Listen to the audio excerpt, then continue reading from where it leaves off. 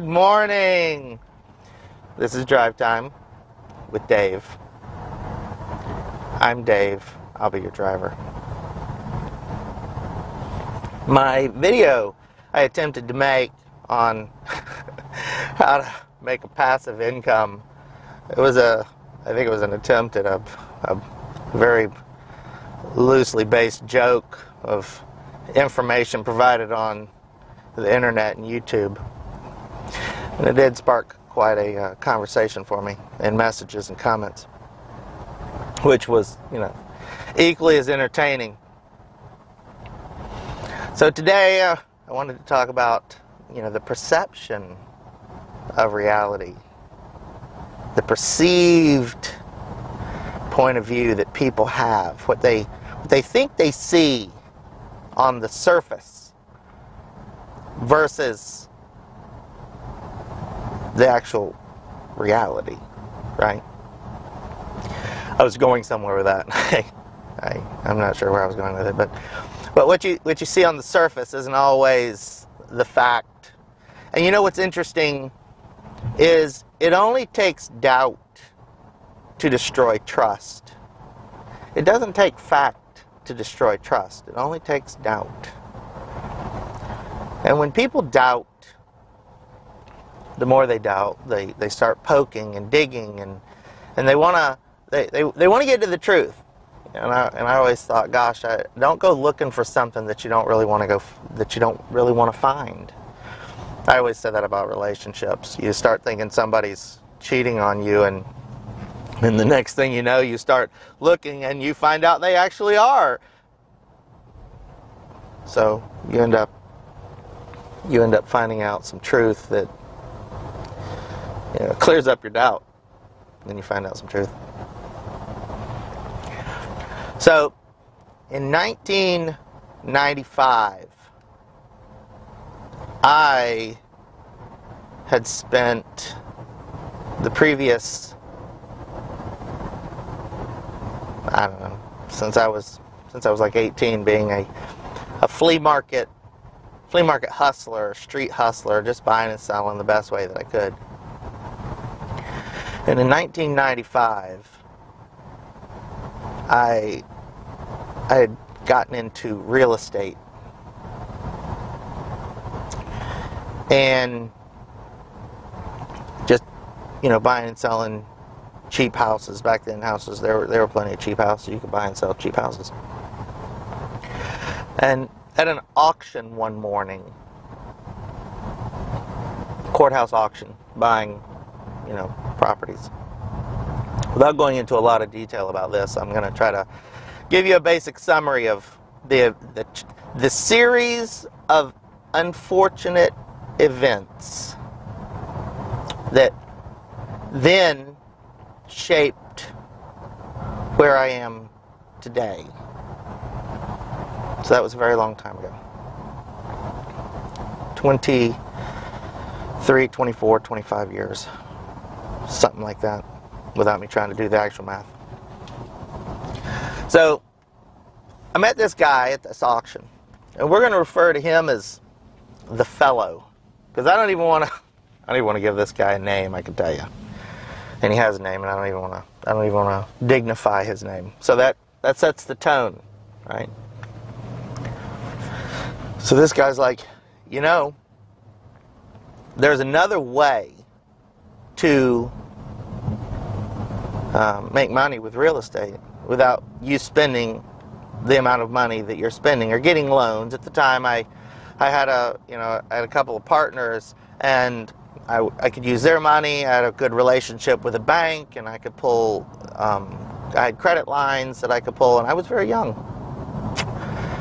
And I considered myself, like I said, I was I was no more than a street hustler. Uh, I'm going to use this term loosely. I had I had no formal business education at the time. I was just a street hustler, right? So I'm emphasizing that as I continue with this story. So this guy's like, I can show you how to, you know, buy and sell real estate without you know, dumping out all the money. Say you're looking at a piece of property. Eh, say and say that example there. I was looking at a maybe a two bedroom, one bath house. This was you know something wherever it was at, thirty, forty thousand dollar piece of property. He goes, I can show you how to do that for ten percent of that. Well, that got my attention. So this falls onto the get rich quick, how to make a passive income, all the baloney. And I said how I like my baloney, typically with bread, cheese, maybe toasted.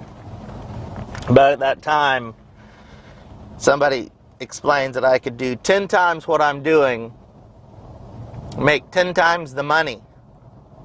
And he was there with me. So at at the auction. So you know, I think, well, there's there's this could hold some water. This this okay. All right. Well, I'm I'm listening. You got my attention. He goes, "Well, I I see you here a lot. And uh and I know your partners and you know, and they've told me that you just you you hustle, you get out, you work you work the deals, you you make it happen. That's right. I do. Okay. As well, for me to get into this with you, first, we're going to have to sign an agreement. Agreement? Yep. Non disclosure agreement and a, and a, a non compete. Well, I don't know what I don't know what those are. I didn't know what they were. Okay. So he's like, you know, uh, come down to my office tomorrow and and we'll get this going. All right, so so I show up at the office, and uh, and he pulls out and he goes, now before we can you know have any conversation, you got to go over these these documents. Well, again, I'm going to go with I had no business education, and I didn't have a degree in law what I had was a, I want to make money, and I doubt that these pieces of paper are going to do anything. Well, so I signed them. And then he basically explained how to buy and sell paper. And that's a term used for when houses go into foreclosure and you want to buy the deed instead of using the term buying the deed, it's called trading paper. And he explained how he would find foreclosure properties, which I already knew how to do. To include that. And that he would then go to the people that their houses were in foreclosure to make a deal to help them get out of the house. Okay, well, well, that part I'd never done. The foreclosure part, yep, I know how to buy foreclosures, do it all day, do it every day. So I had never heard of this next step. Go and make a deal with the current owner of the property to, to take possession of the house. And then basically the gist was that once I do that, that I just bring the paper back to him and he'll buy it from me. So how much are we talking about? That's the, that's the question, right? Because that's that's all I cared about. So if I could I could bring him a piece of paper, he would he would pay me depending upon the house, he'd buy he'd, he'd pay twenty five hundred dollars for the paper. Just for the paper? For for the deed? Yeah. And all I have to do is go ask people for it. I can do that. That's easy. And he goes, Right. That's what I was hoping you'd say, right? Okay. So that was the basic instruction. Go ask people that their houses are in foreclosure for the deed to their house. And because their house is in foreclosure, they'll sign it right over. And there is some degree of that that is the truth. There was no other explanation. Okay.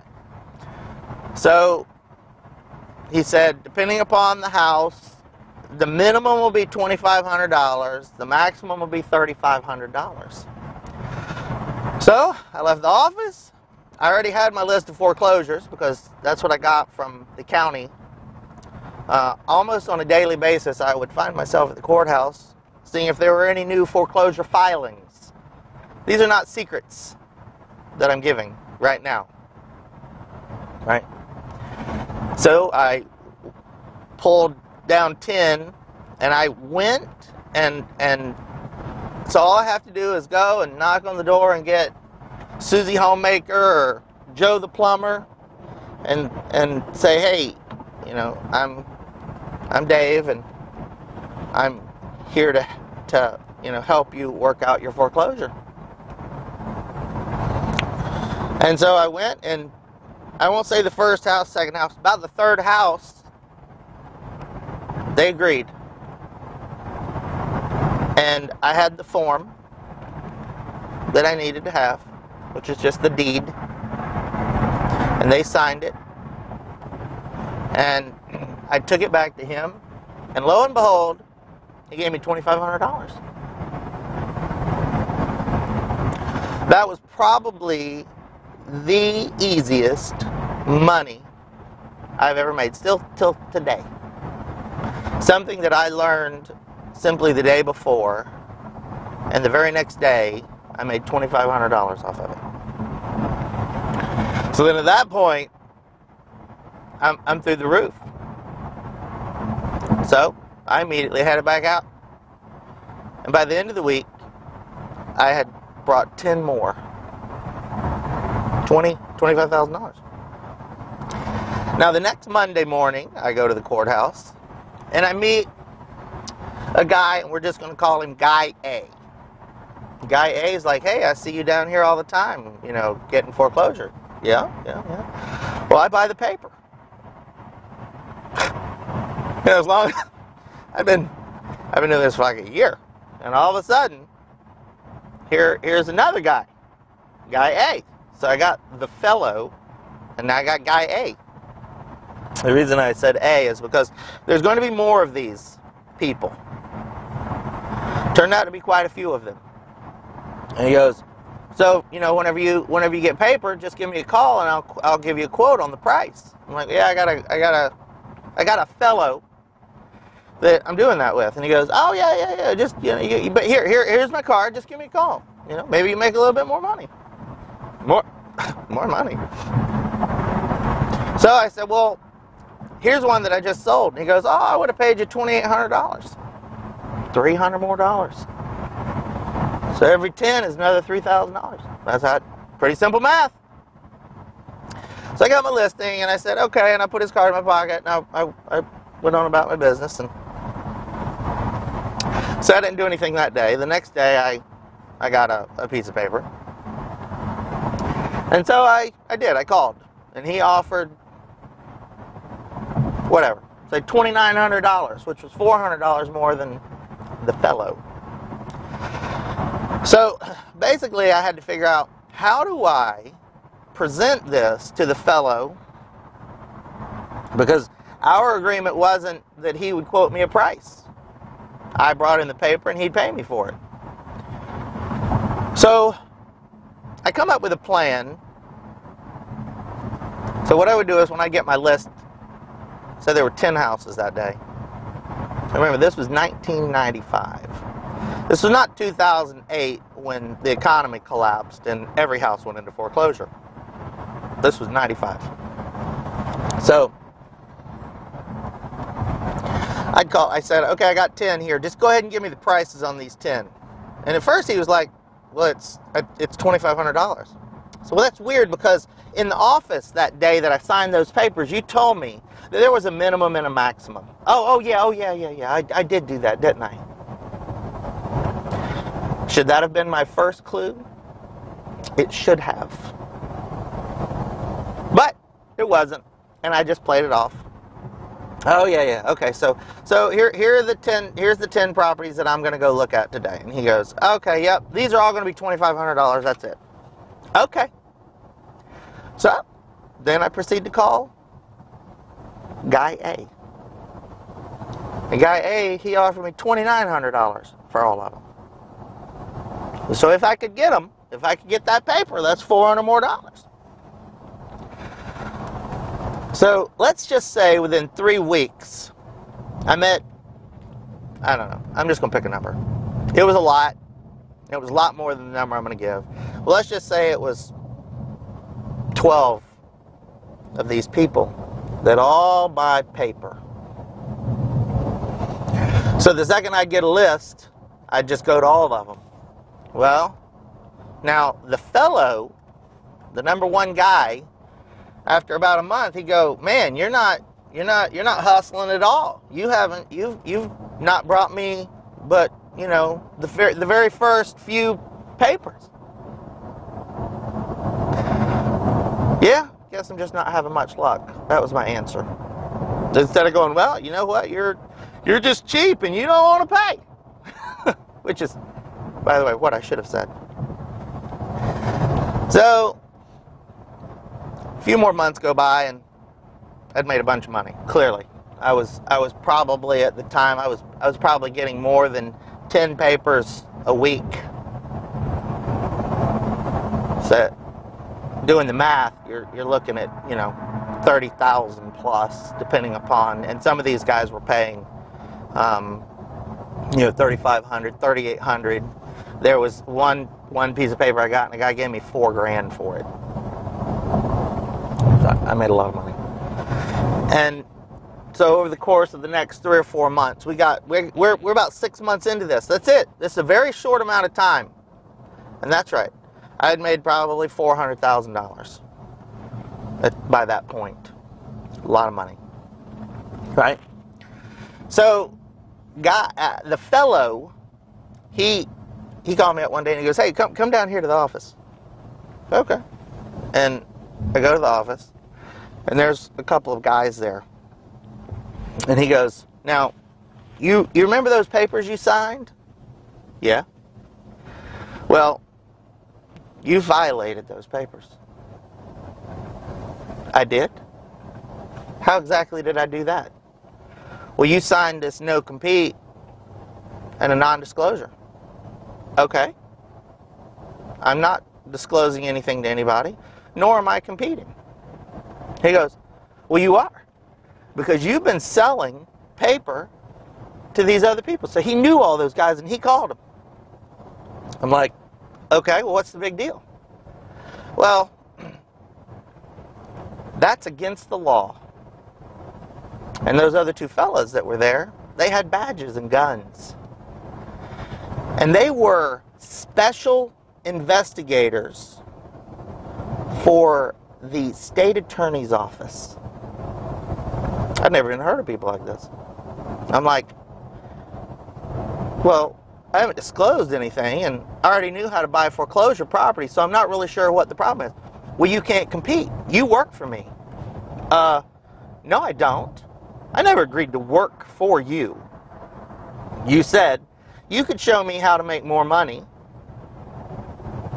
And you said you didn't want me to tell anybody how to do it. And I already knew how to do it.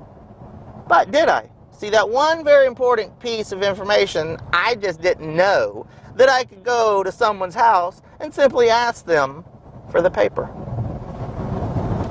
Well, that one little piece, he considered his, ready for it, trade secret. But it wasn't a trade secret because all these other people knew how to do it. Why was I so good at it? I don't know. I, am not going to say that I knew any more than anybody else. I just showed up and I'd just be like, hey, I just want the paper on your house and you're losing your house. And sometimes they'd give it to me and sometimes they wouldn't. So I won't say that I was doing something special. But those fellas with the badges and the guns, they arrested me. That's right, I went to I went to jail. Yep. So basically they put me in handcuffs and took me to jail because that's what happens. Right. And within an hour, one of the guys, we're going to say it was guy A, he was a super good guy. And during the course of all this, he would say, You got to be careful. You know, he knew the other guy, the one that got me started, the fellow as I refer to him. You got to be careful. He's a shady guy, shady dude, shady fellow. So when people say shady to me, I've never really thought too much about it. That's just a perception of the way somebody does business. But now that we know this, this fellow would have you sign papers, tell the correct authorities that you work for him, and have you put in jail to prove his point. Well, guy A, super good guy, he come and he, he bailed me right out. So I was there a whopping hour. But you know what? I was in jail. I was arrested, and I was there for you know an hour. It didn't matter whether it was an hour or whatever. I didn't spend the night. I probably wouldn't have done very good in jail for the night. I can tell you. So he bailed me out, and he, you know, took me and I got my car, and he goes, "Come on over to my office. I think you need a job." I said, "Whoa, I don't need a job." Let's get that straight, because clearly somebody thought that I worked for him and I didn't. I don't want him. He goes, okay, no, no, you're, you're absolutely right. You just keep doing what you're doing. And listen, and if I can't pay enough for the paper, just say, hey, one of the other guys are offering more. He goes, sometimes you got to just be a little more honest, right? Well, I didn't know that I was being honest. It seems like I was disclosing information. Like creating a competitive edge because this guy's paying more seems unfair for me to tell you that he's offering more just so you'll match his price because then he doesn't have his competitive edge anymore. Right? And that's what I then explained to him. And he goes, You know what? You are a good guy, Dave. And, and I feel bad this guy's done this to you. You know this isn't going to be the end of it. I'm like, Oh, it'll be the end of it? I promise you. Well, it was not the end, but it was the end. So, basically, at that point, I had to go get an attorney. Well, I'd made a whole bunch of money. So, you know what? I could afford a whole bunch of attorneys. And that's exactly what I did. Over the course of the next nine years, those lawsuits continued. But you don't see those lawsuits about me anywhere.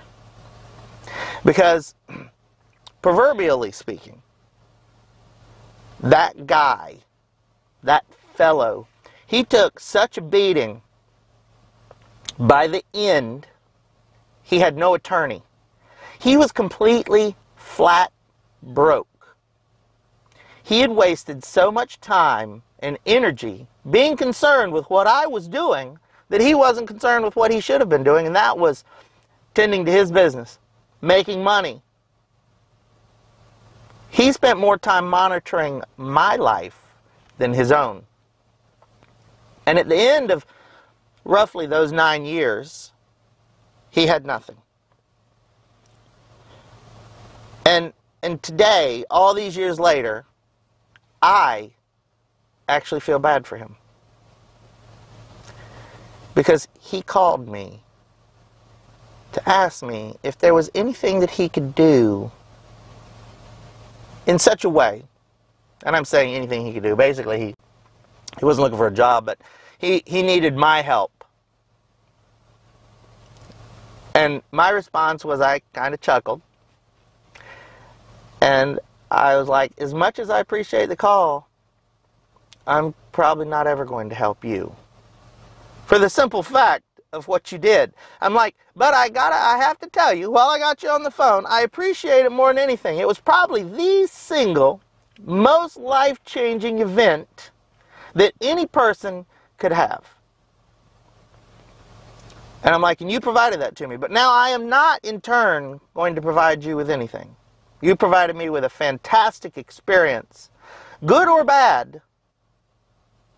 Thank you very much. And I hung up. So, the events after that were now I will need to take some courses in law and business, business ethics. So I have the ability to make money, but let's just say I don't know how to act in a simple term. So now I'm going to learn how to act. I want to be a better person. I want to make sure nobody does this to anybody that I ever know again. much less myself. So from that point, that's when I decided it would be so much easier to be able to provide useful, factual information. Not provide misguided horse crap or half a thought given to it. Something I'm not interested in. Somebody comes and asks a question and I'm just not interested in answering it and it doesn't matter. Nope. I don't want anyone to have to deal with half the truth or half the information. So, for any questions, I always provide what I thought was a reasonable answer. Do I have a degree in law? No. Did I take hundreds of hours of law courses? Yes. Business? Yes. Accounting? Yes. Right? So, at that point in time, and I say thank you to everything for where I am and what I have today. I think if YouTube would have been there and I would have started watching those videos and I would have been provided all that misguided mess of information, I don't even know where I would be today. So in a way, I feel bad for the information that I see floating around, which goes back to how to make a passive income. Get rich quick schemes don't work. And I wanted to address one comment way here at the end of this video that somebody said about how the government or the current president can affect what we do. And I wanted to do some math. Even if whatever the current president is, was at the time, decided he was going to raise taxes, and he's going to raise those taxes by some exponential percent 1%, 2%, right? So you can do the math. Right now, your personal deduction is $25,000. They raise your tax rate to from whatever 18% to 20%. They raise it 2%. Over $25,000.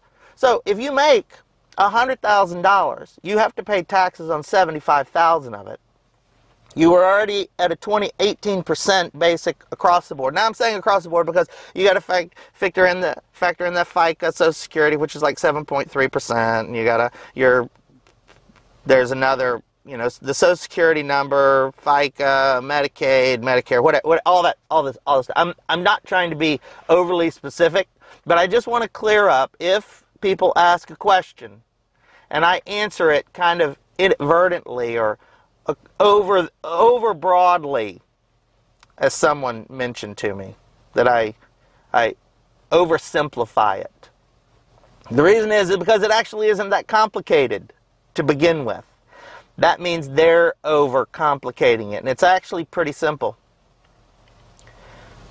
The moral of today's story is the perception of reality versus reality thinking that there's something amazing behind it or there's something terrible, or you now know I went to jail. And it changes nothing. Whether I was in jail for years and years and years, or simply one hour, I was there. and I was scared to death. I had no idea. But luckily, the law on that side, and I can follow up with in 1995, then President Bill Clinton signed an act, a law about trade secrets. And so it was very, very new. And as soon as this guy said trade secrets, state attorney's office jumped on it. How it ended up? It ended up with nothing. There were no charges. There were no nothing.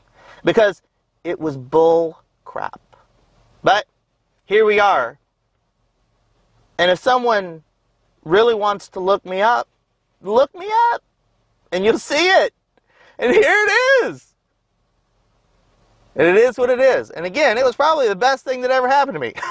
I don't I don't suggest everybody goes gets arrested. But you know what? Listen, it was the best for me because it pushed me in a direction that I probably wasn't going to go in all on my own. And sometimes we do need some guidance and we need some good advice. I'm Dave. I'm an ex-con. This was Drive Time.